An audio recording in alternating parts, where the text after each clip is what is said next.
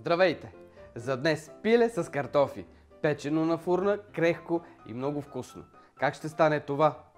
Не е трудно. Сега ще разберете. С компир винаги гарантираме качество, селекция, вкус. Сега ще си взема необходимото количество, ще измия картофите и след това ще ги нарежа на по-едри парчета.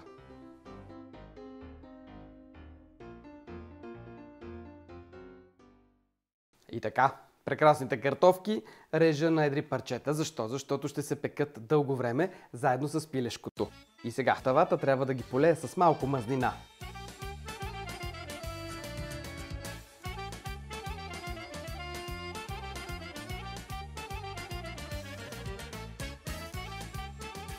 Пилето можете да го нарежете на 4 и така да го сложите. По-бързо ще се изпече. Обаче пък като го поднесете цяло, визията е друга. Апетита като че ли още повече се отваря. Веднага искам да припомня любимата ми саламура и хитринка, която аз използвам, когато пека пиле, когато пека свинско или телешко месо. Саламурата е онзи разтвор, който подправя пилешкото месо много добре и го осолява равномерно. Ползвайте я, само ще спечели вашата кухня. За целта трябва да налея вода. Към 400 мл вода за едно пиле от килограм и половина до 2 трябва да се сложи дафинов лист, черен пипер на зърна и сол. Но освен солта има и още една тънкост – захарта. Една и половина чайни лъжички сол или 10 грама. И точно толкова е количеството на захарта. Всичко това обърква много добре, докато се разтвори солта. Принципно можете да загреете малко водичка, за да може по-бързо да се разтвори солта и захарта. Обаче трябва да сте сигурни, че след това водата е студена, когато накиснете пилешкото месо. Пилето, следователно, след като го поставя тук в саламурата, го обръщам един-два пъти и го изчаквам. Най-добре е една вечер. Това е ако имате време за готвене. Ако нямате, пропускате тази стъпка, защото се обезмисля. Ето така, обръщате един-два пъти в продължение на може би 8-10 часа.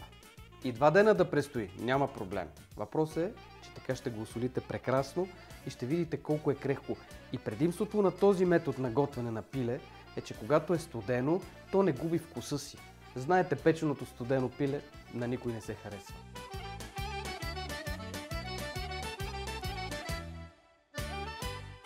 След като пилето е престояло една вечер, трябва да се извади, да се подсуши и да се подправи.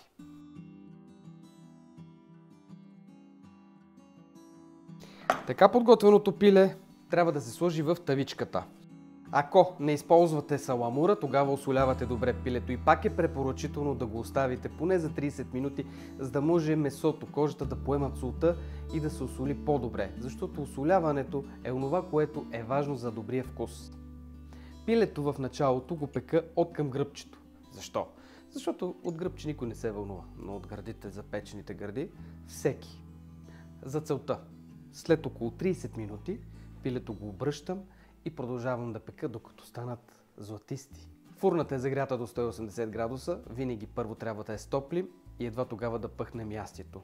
Никаква вода, никакъв швепс, само пиле и картофи. Защо? Ако сложим водичка, тогава вече започва задушаване, а ние искаме печено пиле. А печеното пиле при печене отделя бульон, който облива и картофките, макар и малко, и изпича пилето. Това е. Към фурната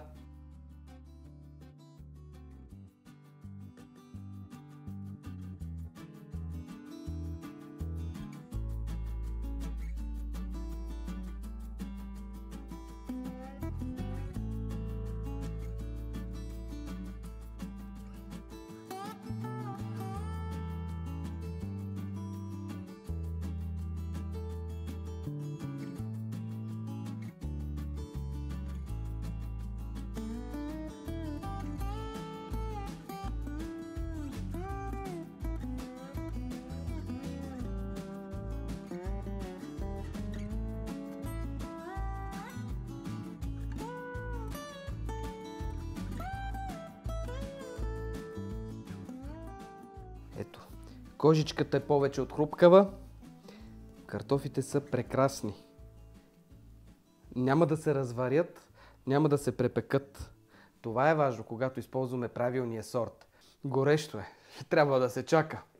Но това не е проблем. Скъпи приятели, в YouTube канала Кухнята на Звезда споделих още една национално значима българска рецепта. Една от най-обичаните, около която се събираме винаги и всеки дърба, краче, кълка. Слагаме край на спора, крюце или кълка. Важното е да е печено и да е с картоф. Довиждане!